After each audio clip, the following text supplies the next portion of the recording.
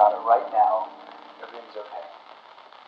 No matter where you find yourself, no matter what kind of stuff is going on in your life, underneath it all, everything's actually alright.